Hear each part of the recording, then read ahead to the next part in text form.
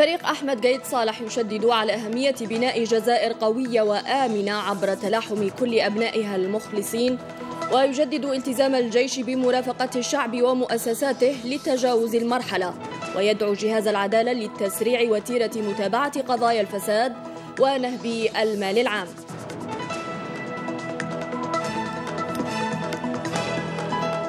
قاضي التحقيق لدى محكمة سيدي محمد بالعاصمة يأمر بإيداع الإخوة كونيناف الحبس المؤقت بعد مثولهم أمس أمام وكيل الجمهورية.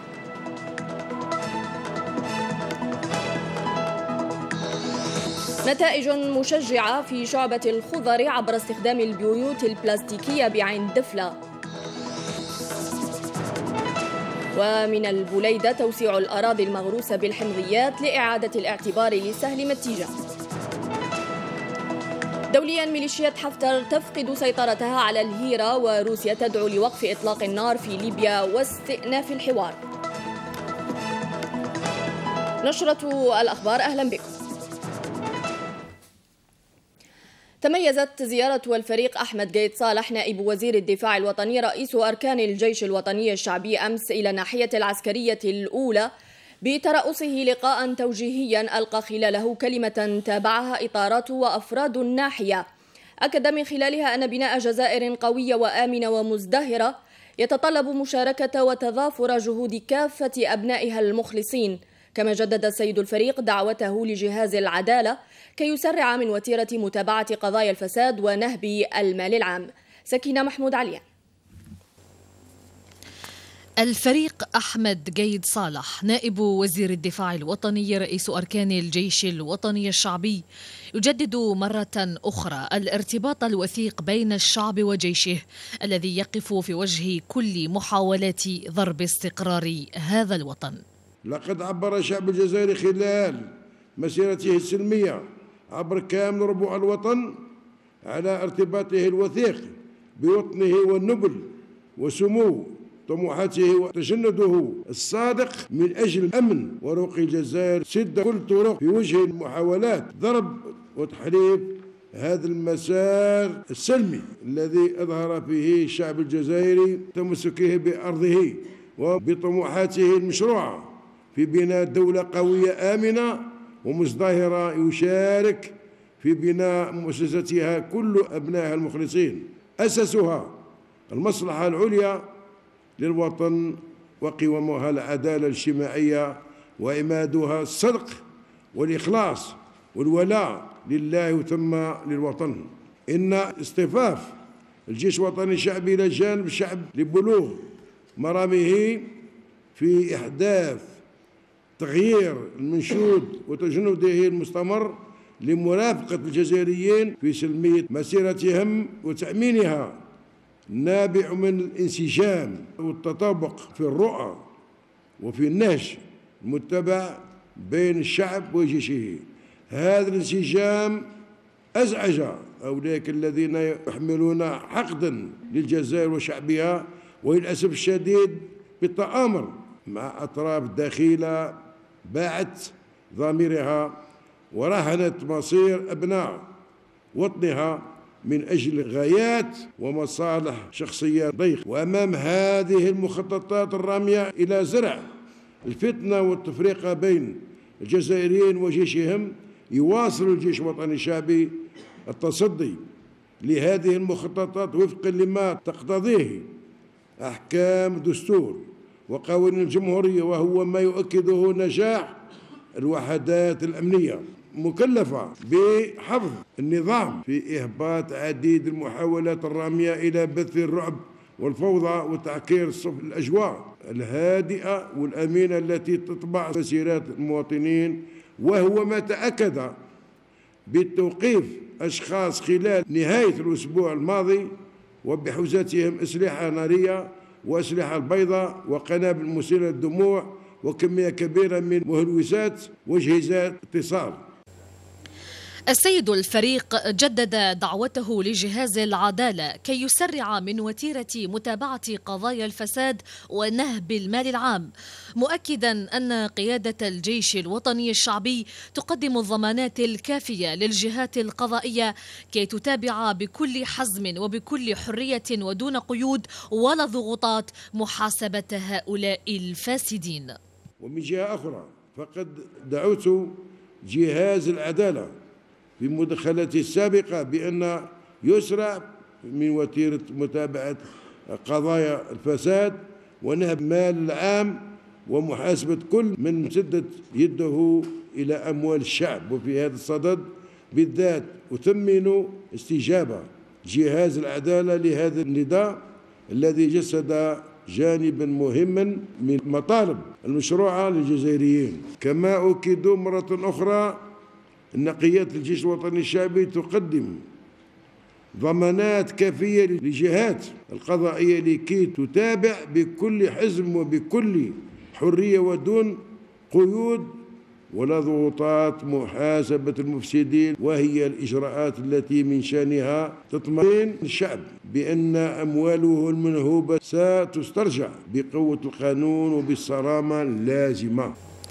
السيد الفريق طمأن الجميع بأن بلادنا التي اجتازت مختلف الشدائد والأزمات التي ألمت بها عبر تاريخها ستخرج حتما من أزمتها الراهنة أكثر قوة وصلابة. أن الجيش الوطني الشعبي ومن منطلق قناعته الراسخة وإيمانه المطلق بضرورة الحفاظ على جسور تواصل مع عمقه الشعبي المتشدر الذي يعد سنده ومنبع قوته وسر صموده أمام كل الاخطار والتهديدات سيواصل في هذا الظرف الحساس تبني نفس النهج الصادق بالاطلاع. المواطنين دوريا بكل ما يرتبط بأمنهم وأمن وطنهم كما نجدد تأكيد أن الجيش الوطني الشعبي سيبقى ملتزما بالحفاظ على مكتسبات وإنجازات الأمة وكذا مرافقة الشعب ومؤسسته من خلال تفعيل الحلول ممكنة. ويبارك كل اقتراح بنا ومبادرة نافعة تصب في سياق حل الأزمة والوصول بالبلاد إلى بر الأمان. لقد اجتازت بلادنا مختلف الشدائد والأزمات التي ألمت بها عبر تاريخها وحتما ستخرج من أزمتها الراهنة أكثر قوة وصلابة وذلك بفضل اللحمة الوثيقة التي لا انفصام لها بين الشعب وجيشه والتي تضع مصلحة الوطن فوق كل اعتبار لتظل الجزائر شامخة كما عهدناها وتظل رايتها رمزا وطنيا مقدسا من رموز ثورتنا المظفرة ومكسب شعبي منتزعا بضريب الدم لعيش شعبنا موحدا منسجما في كنف هذا العلم الوطني وتحت لوائه عالم لا يتغير بتغيير الظروف ولا يتأثر بتقلب الأحوال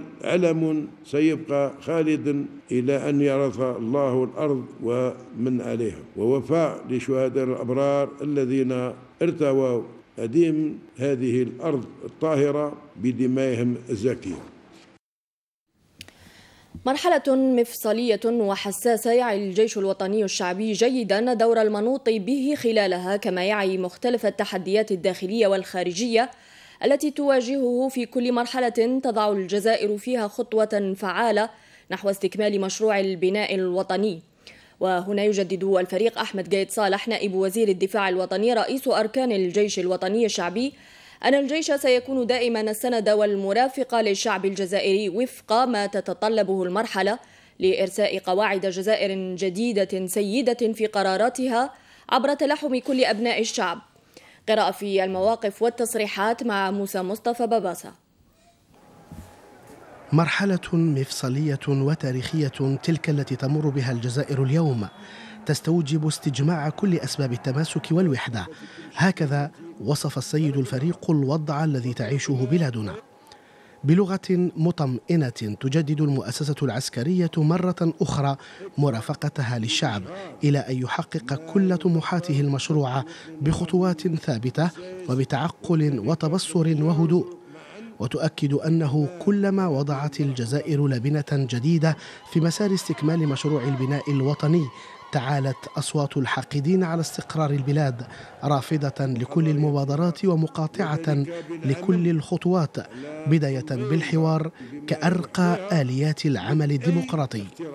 وبين هذا وذاك تطول الأزمة وتضيع معها الجهود والثمن آثار وخيمة على الاقتصاد الوطني وفاتورة ثقيلة يدفعها المواطن على أبواب الشهر الفضيل. يجب التأكيد أولا على أن بيان قيادة الجيش الوطني الشعبي أكدت على مسألة الحوار كمبدأ وهي مع الحوار كمبدأ وليس كإجراء تم اتخاذه. آه، الدعوة إلى آه، ضرورة الاحتكام إلى العقل والحوار تفرضها حساسية آه، الظرفية الحالية التي نعيشها ولا يمكن الحديث عن خروج من الأزمة دون التأسيس لشروط ومتطلبات الحوار. هنا يجب التأكيد على مسألة جد مهمة وجوهرية وهو أن هذا الحوار نؤكد من خلاله على أن الجزائر بحاجة إلى كل أبنائها الوطنيين والمخلصين والجزائر تحتاج إلى مبادرات من كل الفواعل ومن آه، الشخصيات على الخصوص. المواقف الثابتة للجزائر وقراراتها السيدة الرافضة لكل الإملاءات جعلتها عرضة للعديد من المؤامرات الدنيئة وتلاحم كل أبناء الشعب. السلاح الوحيد لمجابهة المتربصين بأمن واستقرار البلاد.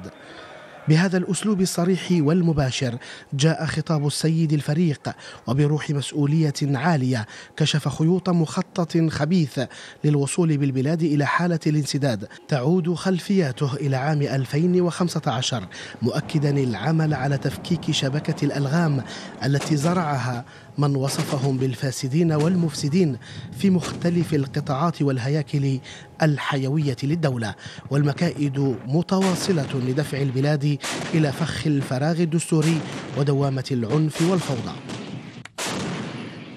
هناك أطراف لا تريد أن يخرج الجزائريين من عنق الزجاجة ويذهبون إلى انتخاب رئيس آه، جمهورية قوي خاصة مع ما نعيش من هذا الحراك المندفع القوي الذي مصمم على أن يذهب إلى بناء جمهورية جديدة يعني تلبي رغباته. هناك كثير من لا يعجبه هذا الأمر.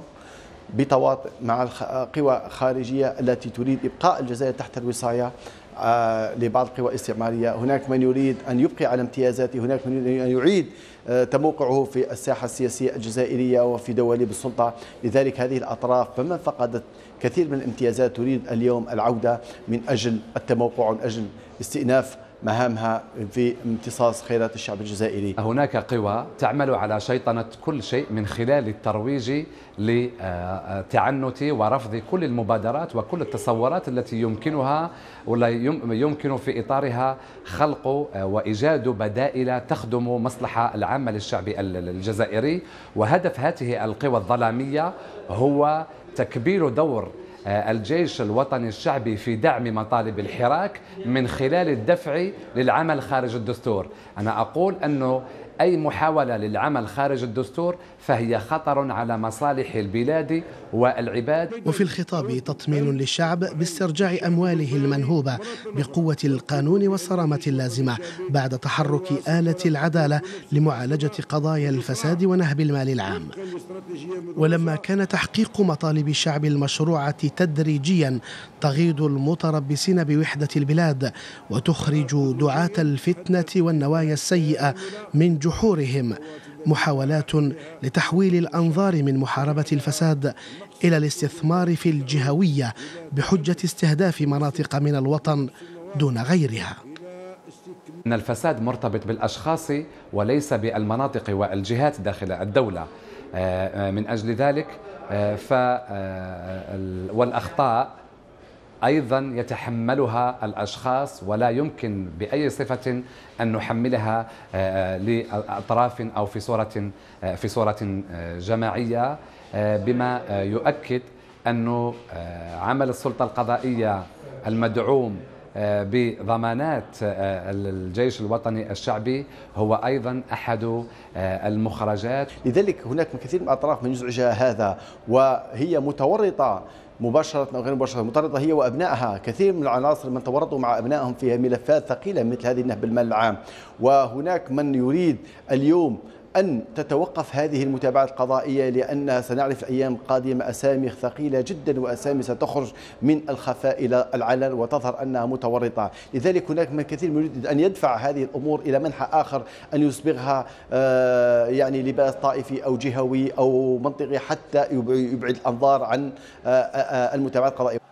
وفي خضم كل الأحداث التي يشهدها الشارع الجزائري يبقى الحفاظ على عمل مؤسسات الدولة أولوية ففيها من الإطارات مخلصون وشرفاء حريصون على استمرارية مؤسسة الدولة ضمانا لسير الشأن العام خدمة للوطن ومصالح المواطنين. أمر اليوم قاضي التحقيق لدى محكمة سيدي محمد بالعاصمة بإيداع الإخوة كونيناف الحبس المؤقت وذلك بعد مثولهم أمس أمام وكيل الجمهورية رفقة ثمانية إطارات من وزارة الصناعة للتحقيق معهم في وسماع أقوالهم بخصوص تهم الفساد التالية.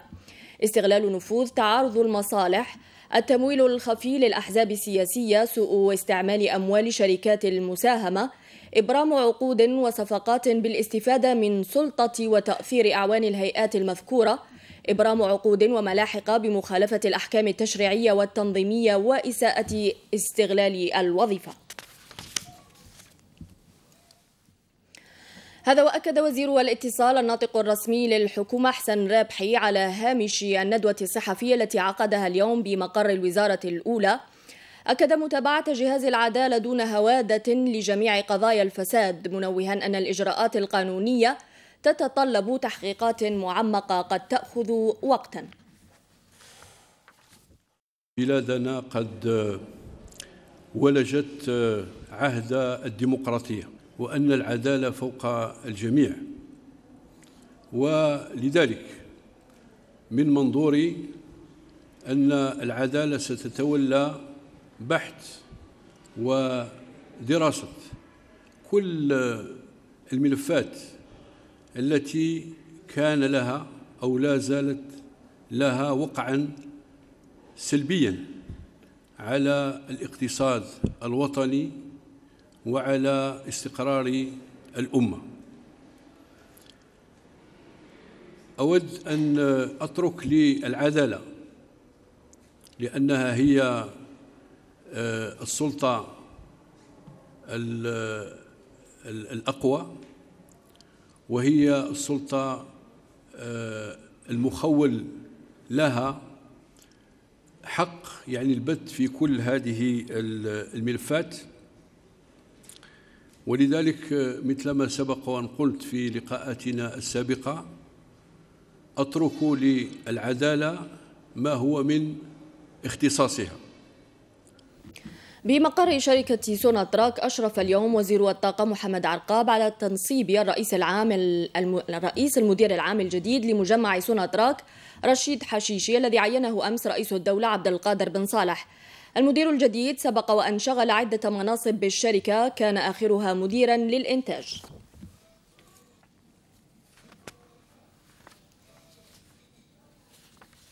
وجود معكم اليوم للنصب على رأس مجمع سوناتراك السيد رشيد حشيشي اللي هو من الكفاءات العليا لهذه هذا المجمع.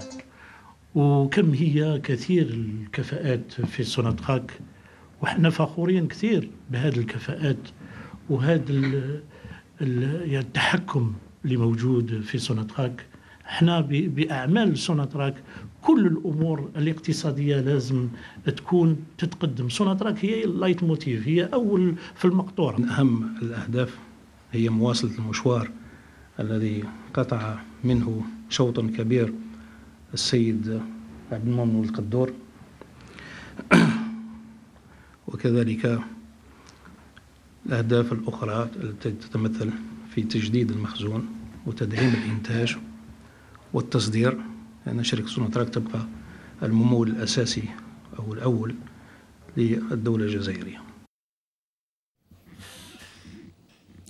نقابيا أطلق اليوم في, ند... في ندوة صحفية ابن الميلي العياشي الأمين الوطني المكلف بالتكوين في النقابة الوطنية المستقلة لمستخدمي الإدارة العمومية. أطلق مبادرة وطنية تضم النقابات والجمعيات والشخصيات الوطنية من أجل بلورة مشروع اقتراحات في جميع المجالات الاجتماعية والسياسية والالتفاف حول الجيش الوطني الشعبي باعتباره صمام الأمة ووحدتها بغية تجاوز الأزمة الراهنة. كما دعت النقابة إلى إضراب شامل يومي التاسع والعشرين والثلاثين من الشهر الحالي من أجل الرفع من القدرة الشرائية للمواطن. وهذا الوقت الصعب يستدعي تكاتف وتضافر الجميع وتلاحم جميع الطبقات واعتبار أن الجزائر خط أحمر وهي أولوية من أولوياتنا الأساسية والتي لا يمكن ليس لدينا بلاد أخرى ما عدا الجزائر. سوف ندعو الجميع بمختلف الحساسيات والمشارب والمناهل من أجل آه، آه، آه، التفاهم على الأقل بالنسبة لنقاط معينة التي يمكن أن يتفق عليها الجميع. تربويا والتزاما برزنامة الامتحانات الرسمية انطلقت وعلى مدى يومين على مستوى المؤسسات التربوية عبر كامل التراب الوطني امتحانات شهادة التعليم المتوسط في مادة الرسم والتربية الموسيقية فيما تستكمل باقي الامتحانات في التاسع جوان المقبل. إلى ولاية عين دفلة حيث حققت زراعة الخضر تحت البيوت المحمية نتائج جد مشجعة مما انعكس إيجابا على توفر الخضر ذات الاستهلاك الواسع خصوصا ونحن على أبواب شهر رمضان المعظم. روبورتاج خليل تواتي. زراعة الخضر تحت البيوت المحمية تعرف تطورا ملحوظا بولاية عين الدفلة بإنتاج بلغ حوالي 800 قنطار في الهكتار. والعينة من المحيط الفلاحي المسقي بالعبادية الذي دخل مرحلة الإنتاج. كل ما راكم تشوفوا الإنتاج كاين نخدموا مختلف أنواع الخضروات آه، الطماطم الخيار آه، اللوبيا courgettes كاين كلش. هذا وين وجد؟ من ال 15 أفريل نبداو شوية هكذا كاين المنتوج قليل. كي يبدا ماي يكون المنتوج. يقوى المنتوج.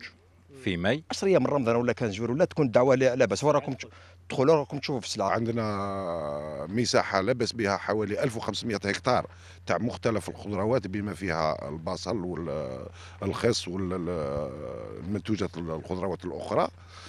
آه، منتوج ننتظروا منتوج يعني لبس به و ومعظم المنتوج راح يعني يكون متوفر في خلال شهر رمضان المبارك. التركيز على زراعة المنتوجات الفلاحية ذات الاستهلاك الواسع مكن من تحقيق الوفرة في هذه المنتوجات.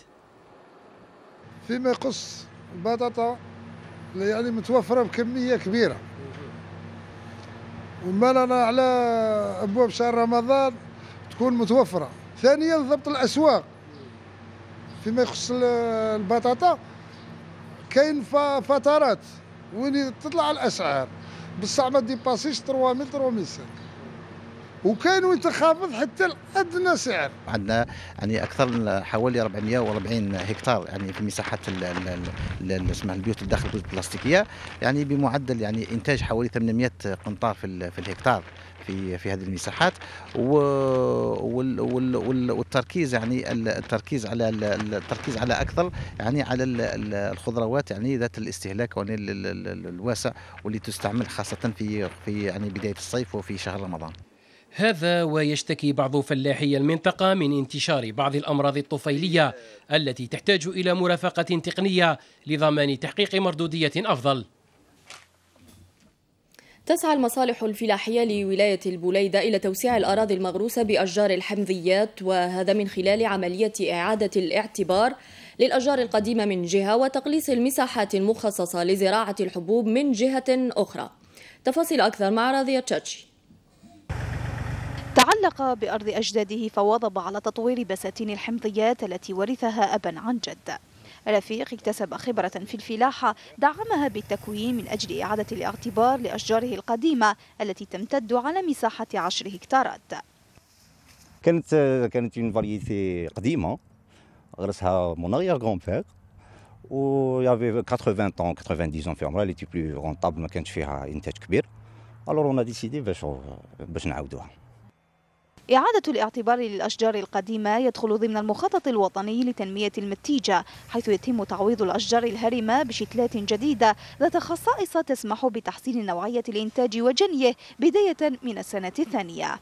وقت فات نقولوا الشجرة بالك سبع سنين عشر سنين باش تمد الإنتاج تاعها دوك الشجرة عامها الثالث. تبدل الخير وبركة. كيما الشجره تشوفي هذه بالك السنة لك بربي إن شاء الله بالك فيها 50 كيلو بالك من 45 حتى ل 50 كيلو. كانت بكري يعني هكتار واحد يرفد 400 شجره دركا هكتار واحد يرفد 800 شجره يعني كي نقولوا 2000 هكتار تاع بكري اللي كانت تضربها في 400 شجره دركا 2000 هكتار تضربها في 800 شجره هناك فيما يخص آه، إعادة الاعتبار أو الغراسات الجديدة يعني تجاوزنا 1780 هكتار من من من المغروسات الجديدة. حاليا عندنا ما يقارب 8000 هكتار من المساحات مستعملة أو مزروعة بالحبوب. تعرفوا أن الولايات يعني منطقة المنتجه هي منطقة تاع حمضيات يعني في كل سنة نشهد تقلص هذه المساحات تاع زراعة الحبوب ونزيدوا في المساحات اللي راهي تغرس بالأشجار المثمره هذه إضافة إلى الأشجار اللي راهي تقتلع وتعاود تغرس من دار جديد ومن المتوقع أن ترتفع مساحة أراضي أشجار الحمضيات بولاية البليدة من 20 ألف هكتار حاليا إلى ما يقارب 24 ألف هكتار خلال السنوات الثلاث القادمة ما سيسمح بالتوجه نحو التصدير. في إطار محاربة الجريمة المنظمة وحماية الحدود أوقفت مفرزة للجيش الوطني الشعبي بالتنسيق مع مصالح الأمن الوطني أمس قرب بني ونيف بولاية بشار ثلاثة تجار مخدرات كانوا على متن سيارة سياحية محملة ب 52 كيلوغراما من الكيف المعالج حسب بيان لوزارة الدفاع الوطني. من جهة أخرى أوقفت مفارز للجيش الوطني إثر عمليات متفرقة بتمراس ثمانية منقبين عن الذهب وحجزت 12 مولدا كهربائيا و11 مطرقة ضغط وجهاز كشف عن المعادن بالإضافة إلى مركبة رباعية الدفع وجهاز اتصال عبر الأقمار الصناعية. في حين حجزت مفرزة مشتركة أخرى أزيد من 2400 وحدة من مادة التبغ ببسكرة. أحيا منتدى الذاكرة الذي تنظمه جريدة المجاهد وجمعية مشعل الشهيد الذكرى الثالثة والستين لكتابة النشيد الوطني. الندوة التي نشطها المدير العام للأرشيف الوطني عبد المجيد شيخي والدكتور محمد لحسن زغيدي. تطرق خلالها المشاركون إلى النضال البطولي لشاعر الثورة الجزائرية مفدي زكريا الذي شب على حب الجزائر عبر مسيرة متواصلة ضمن الحركة الوطنية التي واكبها منذ انطلاقها ليستمر نضاله بقلمه ويوصل صوت الثورة والشعب إلى كل بقاع العالم. دوليا أصيب 21 فلسطينيا على الأقل برصاص المغلف بالمطاط والغاز السام والمسيل للدموع في مواجهات اندلعت اليوم مع قوات الاحتلال الإسرائيلي بمدينة نابلس بالضفة الغربية المحتلة. إلى ذلك وفي إطار سياسة العقاب الجماعي فجرت قوات الاحتلال الإسرائيلي اليوم منزل عائلة الشهيد عمر أبو ليلى في بلدة الزاوية. نجحت القوات الليبية المؤيدة لحكومة الوفاق الليبية المعترف بها دوليا في دحض ميليشيات حفتر في التقدم نحو العاصمة طرابلس التي فقدت السيطرة على منطقة الهيرة. في وقت ندد فيه رئيس المجلس الرئاسي لحكومة الوفاق الليبية فايز سراج ندد بدعم فرنسا لحفتر في إطار عملياته العدائية ضد طرابلس. هذا ودعت موسكو اليوم لوقف إطلاق النار واستئناف الحوار بين أطراف الأزمة. ونختم النشرة بعمق التراث الأصيل والعادات والتقاليد بمدينة السعيدة حيث تنظم كل سنة عروض الفانتازيا التي تحظى بإقبال كبير للمواطنين من كل الولايات بما يعكس تمسك المجتمع بعاداته وتراثه الأصيل روبورتاج ندر مادلية تقرير نور الدين رابية عجل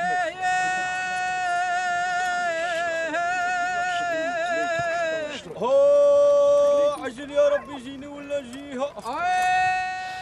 هكذا هي أهازيج الفانتازيا التي توارثها الآباء عن الأجداد. هي اليوم تعد في سعيدة هواية متوارثة من جيل إلى جيل. سعيدة نتعرفوا بالوعي تاع تاع الوعدي تاع الفروسية من جد الجد. وهذا الوعدان تاع سيدي عمر مفتوح البيبان كاع على طيح مرحبا من كل جهه معسكر بالعباس سعيدة كل مرحبا بهم. وهذا التقليد نتاع العربي. هذا من جد جدا نتبعوا في هذه التقليد المنادي أو ما يسمى بالسلعياط هو المسؤول عن انطلاق الفرسان لاستعراض الخيالة وإطلاق ذوي البارود. يا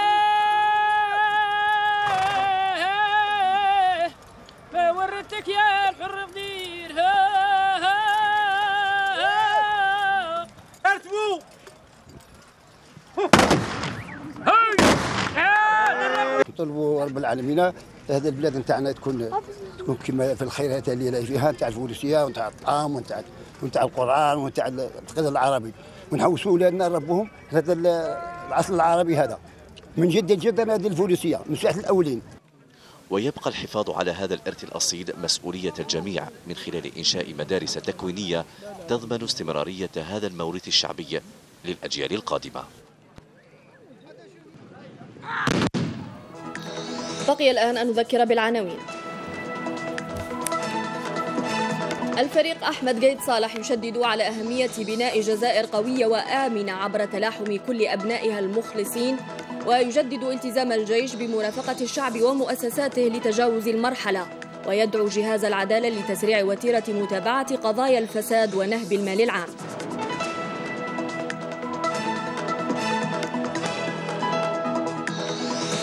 قاضي التحقيق لدى محكمة سيدي محمد بالعاصمة يأمر بإيداع الإخوة كونيناف الحبس المؤقت بعد مثولهم أمس أمام وكيل الجمهورية.